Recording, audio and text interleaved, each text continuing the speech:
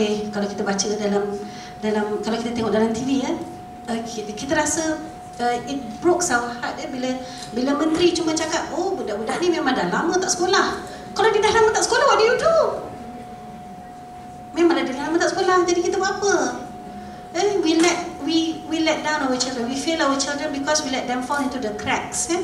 kita biarkan mereka ni jatuh di dalam rekahan-rekahan yang kita sendiri bina mereka tidak bersekolah selama beberapa tahun itu sepatutnya di, di, di, di, diambil sebagai satu bom jangka yang boleh meletup pada bila-bila masa ya? kanak-kanak tidak bersekolah di mana-mana tempat pun di mana-mana negara pun patutnya dianggap sebagai bom jangka sebab bila dia tak bersekolah banyak anasir-anasir buruk yang boleh datang kepada pelajar Sedangkan kalau dalam sekolah pun dia terdedah kepada banyak perkara yang tak sihat. Apatah lagi kalau dia di luar sekolah, tidak ada kawalan, tidak ada pemantauan. Eh?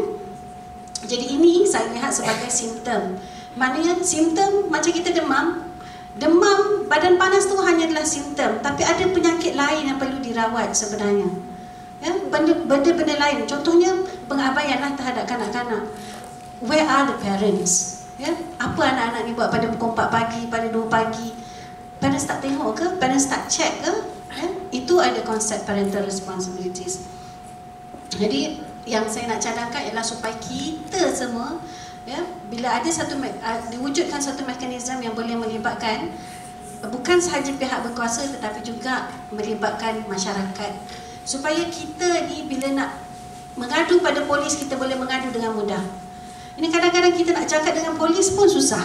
Bukan bercakap dengan polis, kita nampak kereta polis pun kita takut. Yang tengah bawa kereta nampak kereta polis, eh aku dah buat salah ke? Aku dah buat salah ke? Eh? Kita punya takut. Di negara-negara di negara-negara maju, polis tu jalan. Kita boleh tegur pula dengan polis. Kita boleh tanya, eh handsome-nya hari ni? Nak memulakan perbualan eh? Polis pun akan tegur kita. Dia kata, how are you ma'am? Are you okay? Dia akan memulakan perbualan dengan kita. Jadi kita ni boleh terus bercakap dengan polis tentang kerisauan kita. Ya, kita boleh kata dengan polis, you tahu tak? Uh, kita jumpa kanak-kanak dekat sini, dia buat apa tahu, kita tak tahu. Kita boleh bercakap secara terus dan secara santai dengan polis. Ya? Dan antara peranan yang saya nak tekankan adalah peranan masyarakat untuk sama-sama um, saling tegur menegur. Ya? Masyarakat kita sekarang dah kan semakin individu, individualistik. Ya? Ibu tak nak anak dia ditegur oleh cikgu, ya kita tak nak orang tegur anak kita jiran tegur anak kita tak boleh ya. Tapi kita kena faham bila kita gagal menegur perkara-perkara yang buruk apabila dia kecil lama-lama dia akan jadi lebih buruk. Saya nak menarik perhatian uh, para para hadirin kepada satu kes di Jepun ya. Ini uh, kes uh, Junko Furuta Junko Furuta berusia 17 tahun ketika dia dicolik oleh empat orang rakan sekelas dia pada tahun 88. Ya, dia diculik, kemudian dikurung di sebuah rumah, dirogol setiap hari, beberapa kali dalam satu hari oleh empat orang rakan dia. Sehingga pada satu tahap dia dibakar hidup-hidup dan akhirnya mayat dia tu dimasukkan di dalam tong, dalam satu tong kemudian diletakkan konkrit di simen. Ya. Uh, jadi kes tu juga dikenali sebagai the concrete case girl. The concrete girl case ah, macam tu lah. Yang saya nak highlightkan ialah pada satu ketika ibu bapa kepada rakan dia ni uh, jongko pada masa tu sebenarnya dikurung di rumah yang ada ibu bapa dia. Dan ibu bapa tu dalam keterangan tu dia tahu dia kata dia tahu something is wrong. Dia tahu anak dia ada buat sesuatu tapi dia terlalu takut dengan anak dia untuk berbuat sesuatu. Dia takut nak pergi dekat polis sampai macam tu sekali. Ini menunjukkan bahawa bila kita biarkan sesuatu perkara buruk, eh, benda tak elok bila kita biarkan dia akan menjadi lebih buruk lagi. Sama lah dengan anak-anak kita. Bila dia buat kesalahan pertama, ibu bapa tak tegur, dia akan rasa, oh it's okay. Kalau anak tengok TV daripada pukul 8 sampai pukul 10, mak tak tegur. Eh, mak aku okey je, sambung sampai pukul 12. Mak senyap je, sambung sampai pukul 2. Eh, abah pun join sekali, okey sampai pukul 4. Lama satu hari anak tu depan TV, mak tak tegur apa-apa. Bila dah tengah malam, mak dah tak tahan baru nak meletup. Ada guna tak dekat anak-anak? Alah, bising je mak ni, tidurlah. Tak ada apa-apa. Dia dah terlewat. Jadi kita patutlah ambil pengajaran. Pada saya ambillah pengajaran daripada kes tu.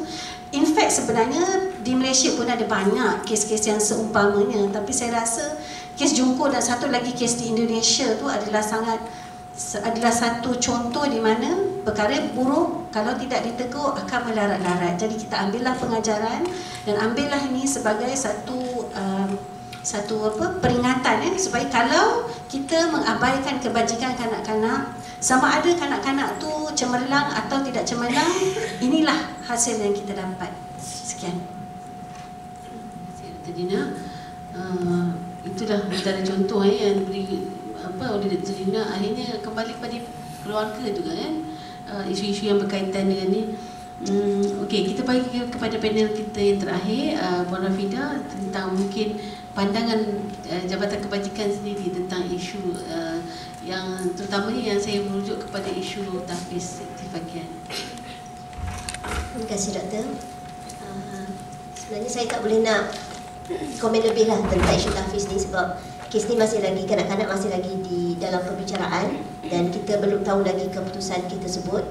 Namun walau macam mana pun walau, walau macam mana sekalipun apabila keputusan tu nanti di, di, dibuat sekiranya melibatkan tugas dan tanggungjawab JKM Uh, kita akan uh, pastikanlah yang mana kanak-kanak tu perlu diberi pemulihan uh, sama seperti kanak-kanak yang masuk ke institusi uh, JKM. Cuma apa yang penting kat sini yang saya nampak kasi sebenarnya uh, pencegahan adalah lebih baik daripada rawatan sebenarnya. Mencegah adalah lebih baik daripada merawat.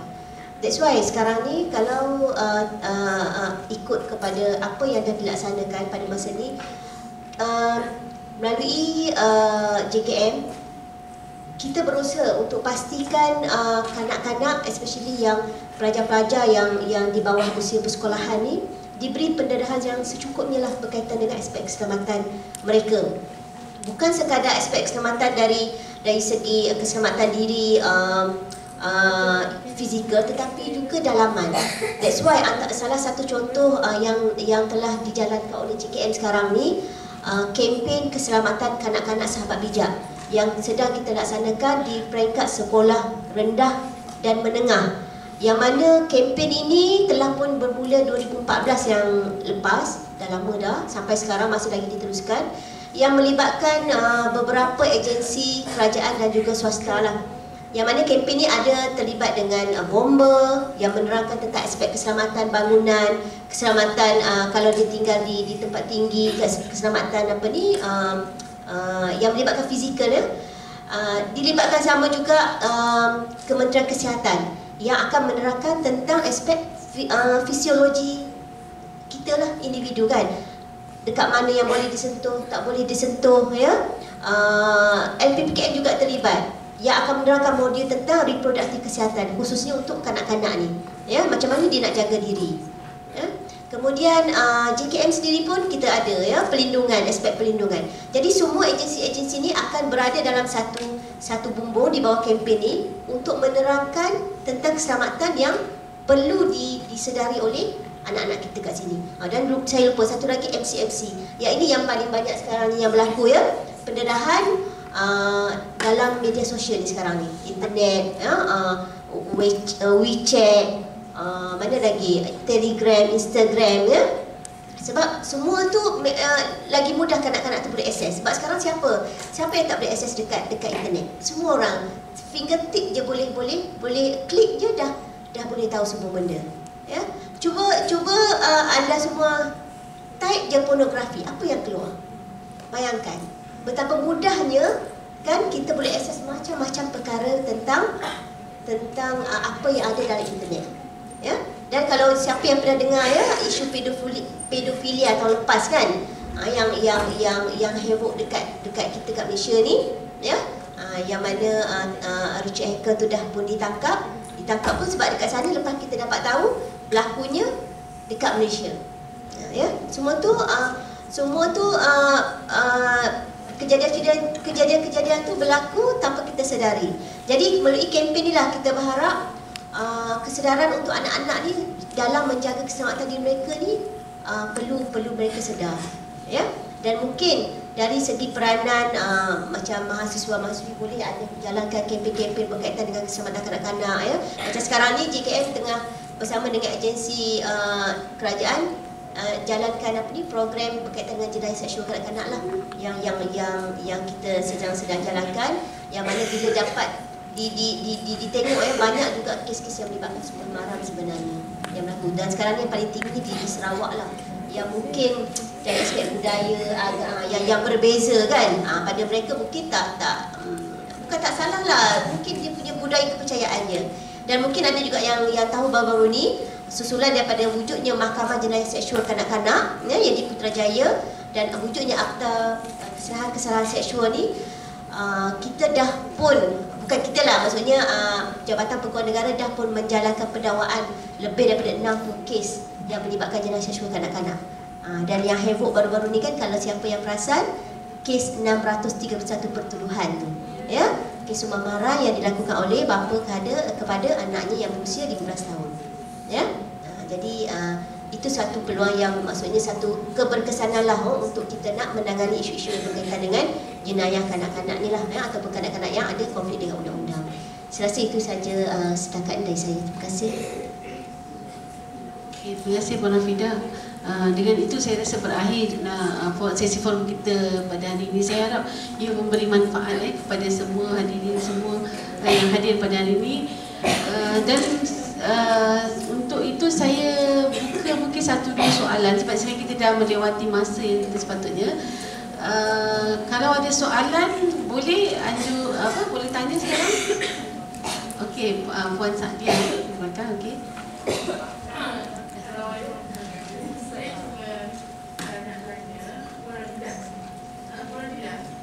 bila ada kita mengetahui tentang kanak-kanak uh, yang yang tidak diawasi bagaimana kesalahan di bawah section uh, 1, 32 dan 33 ada kanak-kanak tersebut siapa yang jadi pengadu biasanya? Ha, tadi pada dia kata please akan bertindak biasa pengadu siapa yang boleh dia Okey, sebenarnya section 31, 32, 33 itu adalah hukuman ya, hukuman kepada mereka yang melakukan kesalahan tersebut. Uh, dia based on kepada uh, macam mana nak kata eh? Based on kepada uh, section 17 tu sendiri. Kalau baca dalam section 17 1A sampai H tu, dia ada pengertian kanak-kanak yang menjadi mangsa penderaan yang uh, dan sebagainya. So bila bila uh, kes tu diambil oleh oleh pihak polis, aspek JKM kita menyelamatkan kanak-kanak tetapi polis yang akan buat siasatan. Dan pada masa yang sama polis juga bila dia siasat kalau dia nak charge uh, uh, terhadap ibu bapa dia boleh uh, dia boleh charge tak perlu lagi ada aduan sebenarnya. Uh, sebab dia based on kepada uh, uh, berlakunya kejadian tersebut. Sama juga kalau saya rujuk kepada kes yang Tafiz ni juga kan? Sebab kita dah tahu kes ini uh, polis boleh sama ada sesuatu atau tidak untuk charge kepada ibu bapa tetapi terpulang kepada pendakwaan yang akan dibuat oleh Jabatan Peguam Negara lah uh, untuk untuk ambil kes ni.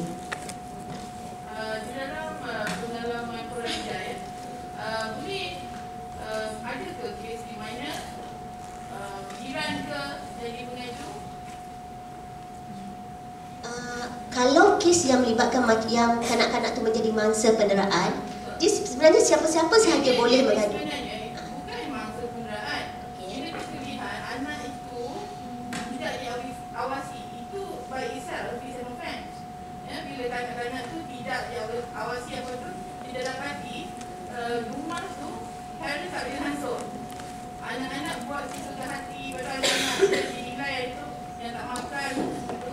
Jadi boleh ke uh, orang kampung tu ke atau DPK ke atau student ke macam kita kita ni pergi jadi pengaju. Can we be the uh, complainant? Boleh? Boleh sebenarnya. Kalau tengok bawah section 29, ya, siapa-siapa sahaja boleh membuat aduan berkenaan dengan kanak-kanak yang didapati berkeliaran, tidak diberi makan, minum, ditinggalkan keseorangan dalam dalam rumah dan sebagainya. Siapa saja siapa-siapa saja boleh mengadu sama ada dia mengadu melalui telefon ke ataupun talian 1599. Ya. Ha, tetapi kena bagi detail maklumat ataupun information tu di mana kejadian tu berlaku dan uh, maklumat detail lah supaya senang untuk pegawai JKN turun dan buat siasatan. Ha, so tak ada masalah sebenarnya. Sekarang ni pun macam talian 159 banyak kita terima. Ha, sebab selalu jiran dia tak nak. Dia kata saya tak nak bagi tahu lah nanti dah dia jiran saya pergi mengadu pula kan. Nanti dah dah dah bergaduh dan sebagainya. Kita akan uh, kita akan uh, tak tak akan bagi tahu pada sesiapa siapa yang mengadu tu sebenarnya. Efek kalau ada yang yang diadu tu tanya kepada JKM siapa yang mengadu sebenarnya kita tak akan sekali bagi tahu. Ha, jadi tak ada soal masalah siapa-siapa saja memang boleh kita nakkan anggota masyarakat kita ni buat aduan kalau berlakunya uh, apa ni kes-kes yang melibatkan penderaan kanak-kanak ni. Ya. Terima kasih Puan Rafida dan Puan Sadia yang bertanya. Ada soalan lain tak? Saya ada soalan. Okey. Uh, saya ada uh, soalan first pertama saya setuju kepada Dato' Aziza. Dan, tadi cerita tentang generasi alpha ataupun generasi yang sekarang ni memang pandai lah kan. So nak tanya, adakah wajar kalau hari ini kita nak turunkan age of majority itu sendiri? Itu soalan pertama. Soalan kedua saya nak tunjukkan kepada Puan Rafida. Kalau tadi kita cakap tentang JKN, ada buat uh, uh, sekolah yang negeri kemudian uh, bagi latihan kemahiran, kemudian saya ada apa perjanjian dengan syarikat untuk buat untuk masa hadapan lah, untuk pekerjaan. Kalau nak bandingkan dengan keadaan sekarang sebagai seorang pelajar, nak nak nak belajar pun kena PTN, kemudian nak kerja pun belum tentu lagi pengangguran. So masyarakat hari ini nampak lebih baik aku buat masalah atau aku ditanggung oleh orang ni. Ha, ini adalah satu paling masyarakat yang wujud uh, pada hari ini. Mohon komen lah. Sekian saja. Terima kasih kepada mahasiswa kita yang bertanya soalan. Okey, sebenarnya ya kalau uh, Uh, bercakap tentang umur yang obligasi tentang tanggungjawab uh, jenayah yang untuk dikenakan kepada seseorang kanak-kanak uh, sebenarnya uh, uh, tim saya sendirilah sebenarnya kita telah melihat bahawa wujud keperluan untuk mengkaji semula tanggungjawab uh, jenayah pada pada umur 10 tahun. Sebagaimana kita katakan tadi ya, seorang kanak-kanak 10 tahun dia merogol depan kita pun kita tak boleh tuduh. Uh. 10 tahun ke bawah dia buat buat kita tak boleh tuduh dia. So ada keperluan sebenarnya untuk mengkaji. Tetapi kalau kita lihat ya di barat pun mereka katakan bahawa kepakaran ini adalah pada di pihak di peringkat doktor pakar untuk menilai dari segi kematangan, menilai dari segi uh, dari segi uh, uh, mental emosi kanak-kanak tersebut. Dan satu kajian mesti mesti perlu dilihat semula.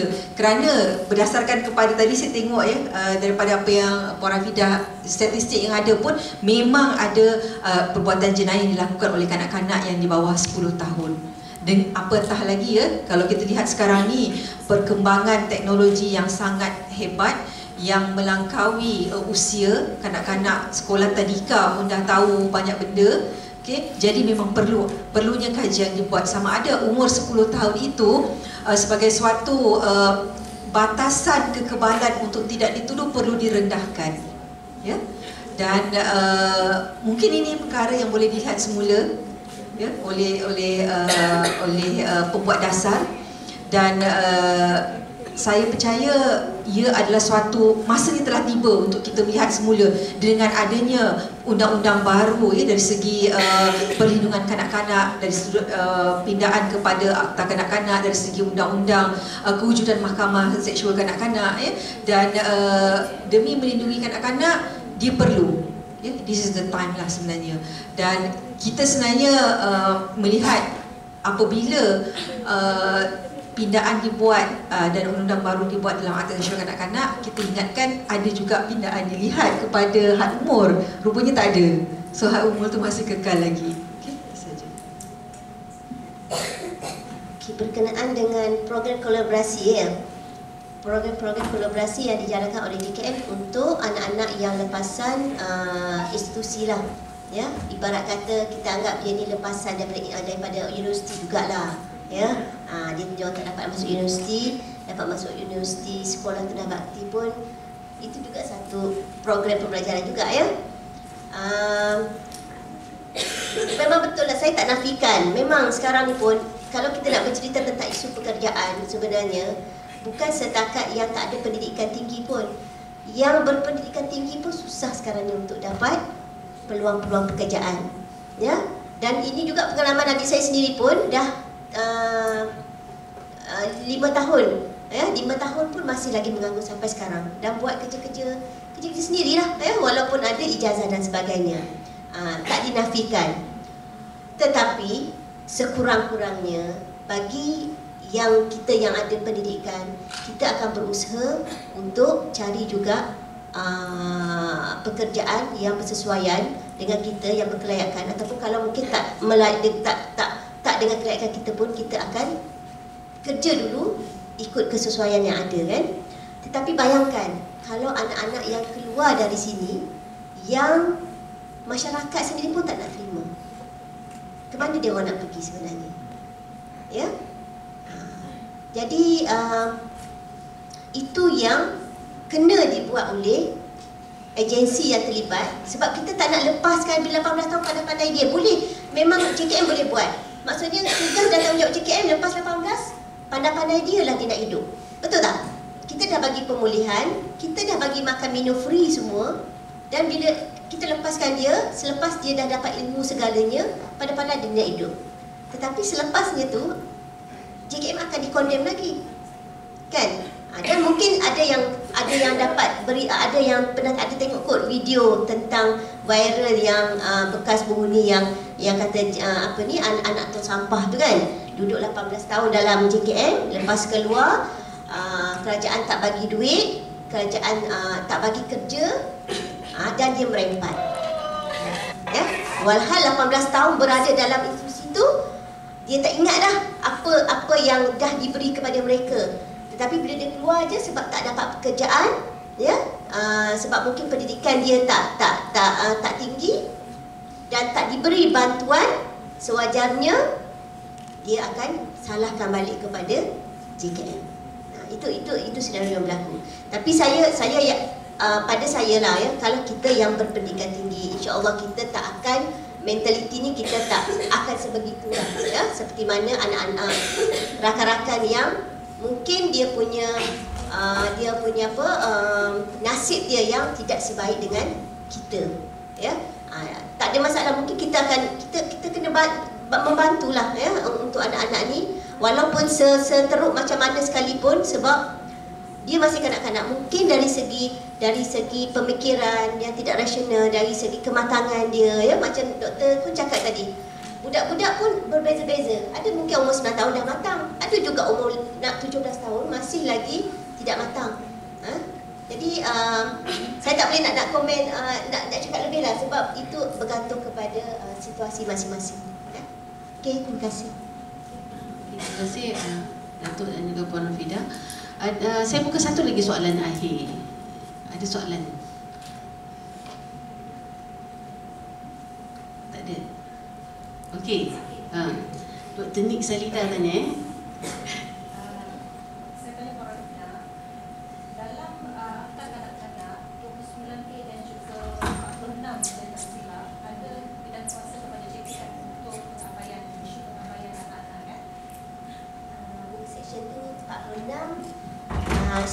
46 tentang uh, kemasukan kanak-kanak ke asrama akhlak untuk uh, uh, kes tak terkawal. Seksyen 29 tadi adalah pemakluman oleh orang awam mengenai kes-kes pederaan.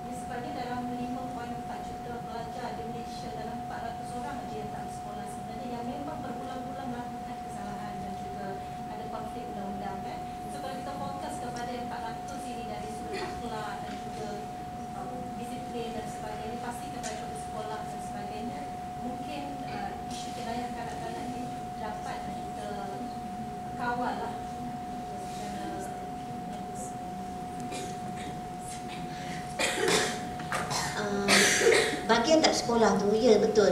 Dia dah dianggap sebagai diabaikan lah sebenarnya, kes pengabaian.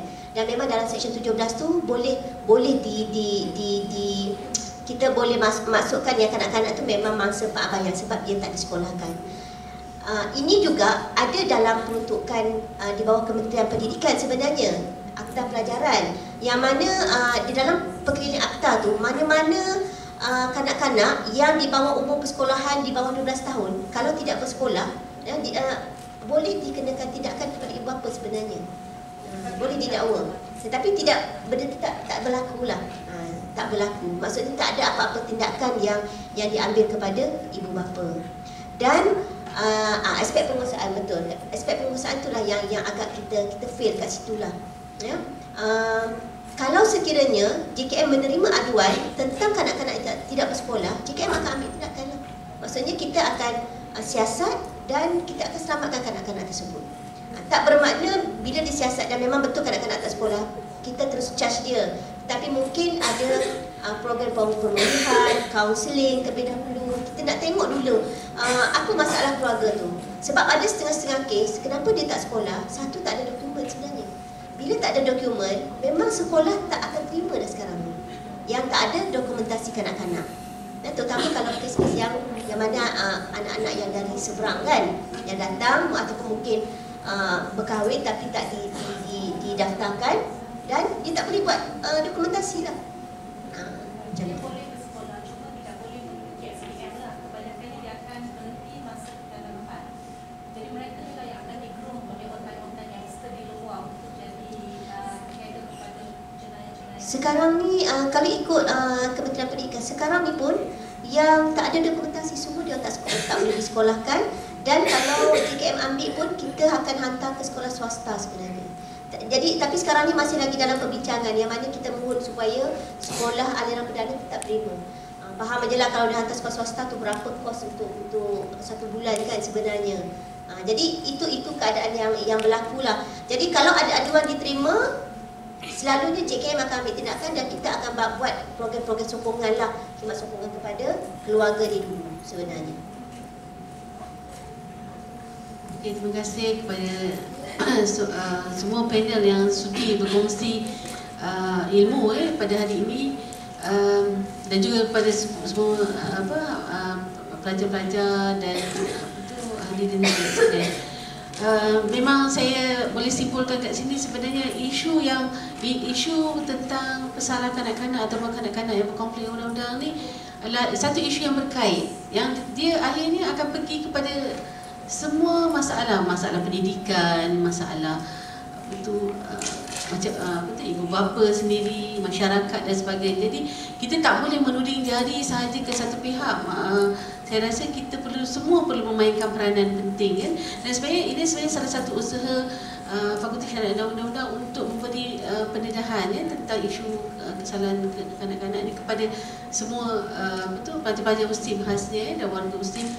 Uh, sebagai satu salah satu cara supaya kita bila kita komen sesuatu perkara tu kita berkomen dengan berilmu kan kita hanya apa uh, cepat eh membuat kesimpulan dan sebagainya uh, dan yang paling penting adalah isu pendidikan yang saya setuju sangat dengan apa yang Dr. Nik uh, Rahim cakap tadi akhirnya kalau kita pegang balik kepada konsep Islam tu sendiri kan uh, antak mudallah ka'annaka tarah konsep ihsan tadi kan Maknanya kalau kita kita buat sesuatu maknanya seolah-olah Allah melihat kita. Kalau kita serahkan konsep tu kan dan banyak lagi konsep-konsep yang baik dalam Islam kepada anak-anak saya percaya eh sebenarnya anak-anak nanti akan datang uh, dia akan mudah dididik lah. Maknanya dia akan tahu yang setiap apa yang dia buat tu Allah ada. Kan?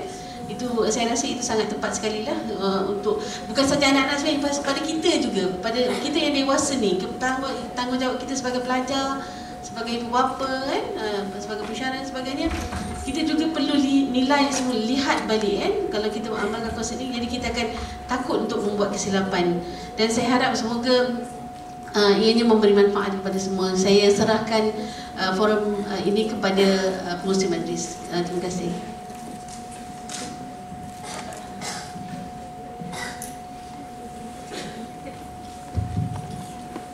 Okay, Alhamdulillah terima kasih diucapkan kepada semua barisan ahli panel dan juga moderator kita pada hari ini uh, dan banyak sekali uh, ilmu dan uh, inform- informasi yang terdapat pada hari ini dan secara kesimpulannya kita sama-sama menjadi masyarakat yang cakna dan responsif. Okey, semua ada uh, apa tu peranan masing-masing dan uh, kita seharusnya menjalankan tanggungjawab kita.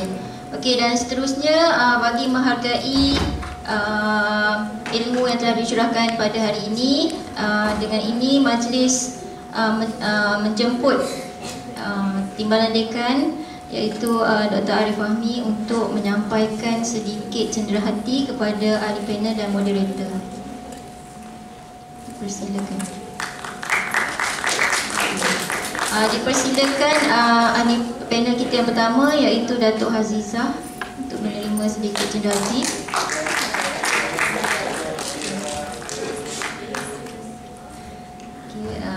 Uh, yang keduanya dipersilakan Dr. Nik Rahim untuk menerima sedikit cenderahati.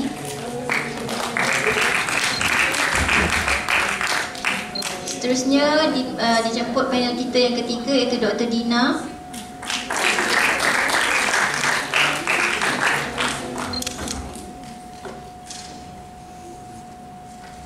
Okey, terima kasih. Seterusnya dijemput uh, Puan Rafida.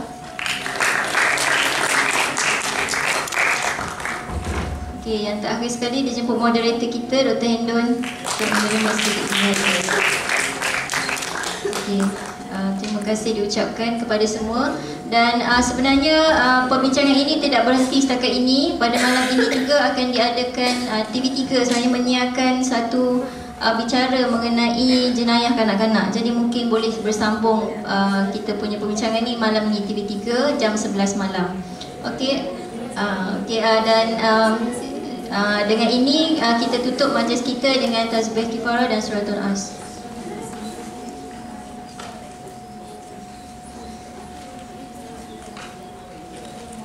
Sekian Assalamualaikum warahmatullahi wabarakatuh.